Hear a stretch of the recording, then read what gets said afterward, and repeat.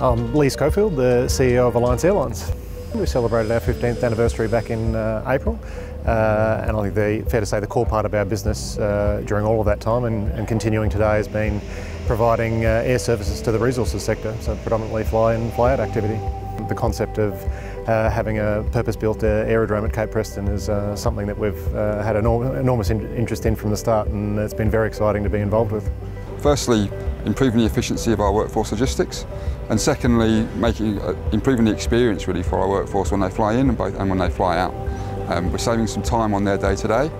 Um, we're improving the fatigue management, um, but we're also increasing the productivity of everyone's swing. Matthew Horton, I'm a project manager at CITIC Pacific Mining. This is my first aerodrome, yes. Certainly that's, that's something that CITIC gives all of its employees really. There, there are new challenges all the time.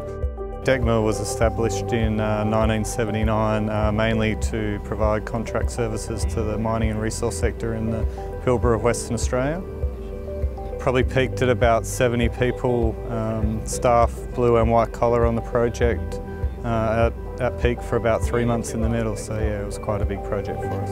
And Decmil have always all the way through the process been very quick to react to, to our changing needs. This uh, project uh, was awarded to us in September 2016 uh, with mobilisation in October and uh, the project completion was April, so six months in duration, uh, so very fast tracked. One of the great parts about this facility is that it is purpose built. It's, uh, um, it's designed with efficiency in mind. Uh, Alliance has been uh, a partner of CITIC and for a long time now and view them as uh, one of our great customers.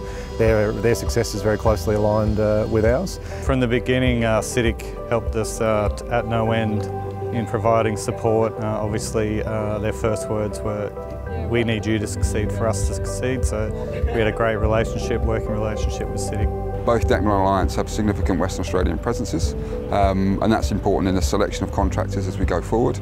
Um, particularly around our operational contracts as well because when you know the construction you look for specific skills but operationally there are things that WA based companies can bring in and, and Alliance have done that. Uh, even with the ongoing management contracts they have here we're also using Karratha Asphalt as a subcontractor to maintain our facility and they're obviously based just up the road.